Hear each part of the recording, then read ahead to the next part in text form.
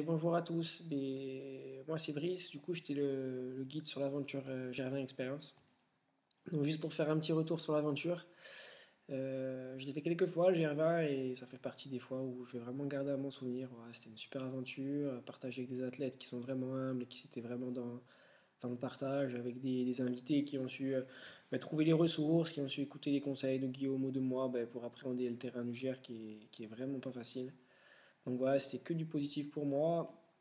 En plus, ben, voilà, ça permet de, euh, de côtoyer ben, euh, des gens qui, qui, gèrent des produits qu'on met tous les jours et du coup on, se rend compte aussi de, ce qui se passe euh, avec tout ça. Donc c'était super intéressant.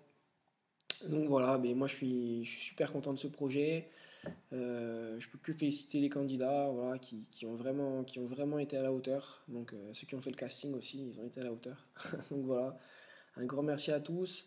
Euh, le GR20, mais voilà, c'est vraiment une aventure humaine une aventure physique. Et sans l'humain, ben, on a du mal à arriver au bout. Et là, ce qui a fait que ce groupe il arrive au bout, ben, c'est qu'il y a eu une vraie cohésion, il y a eu une vraie entente entre tout le monde, un bon état d'esprit, voilà, jamais, jamais une attitude négative, même dans la difficulté. Donc ça a été vraiment super.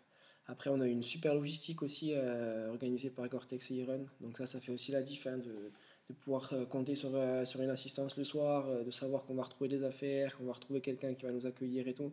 Ça fait vraiment la différence. Donc ça, c'est vraiment un luxe qu'on a eu, hein, de pouvoir avoir une assistance de cette qualité. Donc c'était vraiment top. Et, mais voilà, merci Grantex et merci Irène pour ça, parce que c'était vraiment, vraiment cool de travailler dans ces conditions. Et donc voilà, donc, voilà si, jamais vous voulez tenter l'aventure GR20, ben, n'hésitez pas, il faut vraiment bien préparer le truc.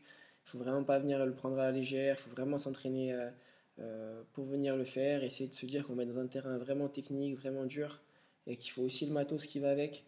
Donc voilà, il faut bien s'équiper, bien se préparer. Et voilà, donc je suis sûr que vous trouverez tout ça sur Rerun et qu'un petit produit Gore-Tex, ça ferait l'affaire.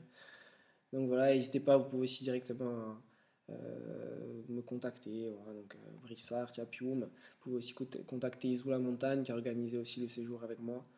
Donc euh, voilà, mais je vous souhaite à tous euh, des bons projets sportifs et si un jour la Corse ça vous tente, ben, n'hésitez pas. Au revoir.